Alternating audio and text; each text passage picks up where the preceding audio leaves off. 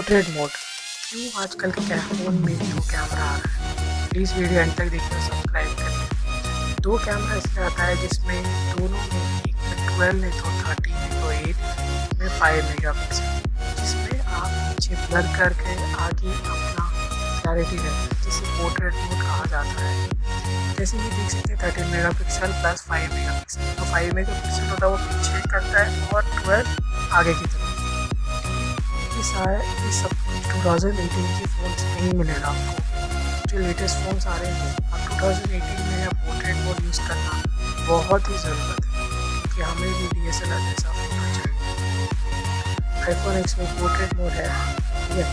Best अभी तक से कैमरा के लिए लिखा गया है, वो है गूगल पिक्सल टू जिसमें एक ही कैमरा है बट वो बेस्ट पोर्ट्रेट मोड में से एक है ओके अगर लाइक शेयर कमेंट प्लीज़ करना।